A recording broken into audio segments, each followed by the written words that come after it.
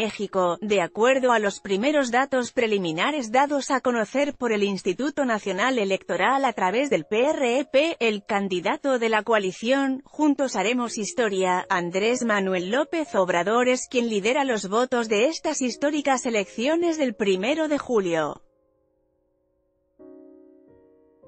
En un mensaje transmitido por cadena nacional, el consejero presidente del INE, Lorenzo Córdoba detalló que el conteo rápido se basa en los resultados que los funcionarios de casilla anotaron en las hojas pero que hasta este momento, se ve claramente que los resultados favorecen a López Obrador.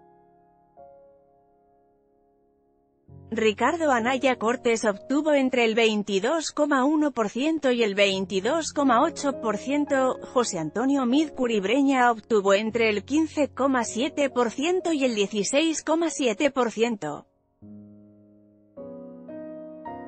Andrés Manuel López Obrador obtuvo 53% y el 53,8%. Jaime Rodríguez obtuvo 5,3% y el 5,5%.